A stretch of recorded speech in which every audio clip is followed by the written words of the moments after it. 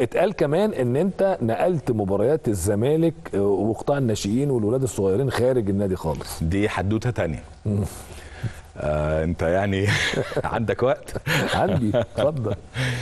آه القيم والأخلاق اللي الواحد اتربى عليها تخليه يعمل التصرف اللي هقوله لحضرتك ده. لأول مرة في اللجنة الأولمبية المصرية كان في خمسة من 13 أبناء نادي الزمالك لعبوا في نادي الزمالك. وتقريبا اتنين أو ثلاثة تانيين زملكاوية برضه بس ما لعبوش في نادي الزمالك. خلينا نقول الخمسة اللي لعبوا كانوا مين؟ آه حازم إمام. في الكورة. حدث ولا حرج. كان مين حازم إمام؟ طبعا كان ممثل اتحاد الكورة في اتحاد كرة القدم. كابتن ياسر إدريس. السباحة. رئيس اتحاد السباحة. كان عضو مجلس اداره طبعا. يحيى دعبس لاعب هوكي نادي الزمالك وكان. نائب رئيس اتحاد الهوكي. تمام. خالد ناصف سليم. الفولي ابن العلامة ناصف سليم. سليم. وأنا اتحاد كرة اليد. خمسة دول إيه؟ زملكاوية صح؟ لعبوا في نادي الزمالك. مظبوط.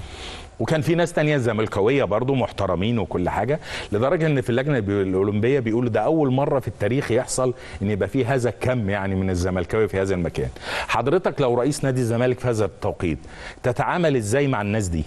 ده بالعكس ده أنا هفتح علاقات وهفتح كلام وأبني جسور عشان صح. خاطر طبعا صالح صح. النادي يعني طبعا ما حدث كالتالي جه ال- المستشار مرتضى منصور قدم اللائحة الجديدة آه، اللي هو عاملها عشان تعتمد اللي هي بحكم المحكمة اتلغت ودلوقتي الانتخابات بتتعمل على اللائحة الاسترشادية لما قرينا ال- اللائحة مش إحنا القانونيين كمان يعني لقوا إن فيها يعني حاجات لا تتوافق مع قانون الرياضة ومشاكل كتيرة جدا.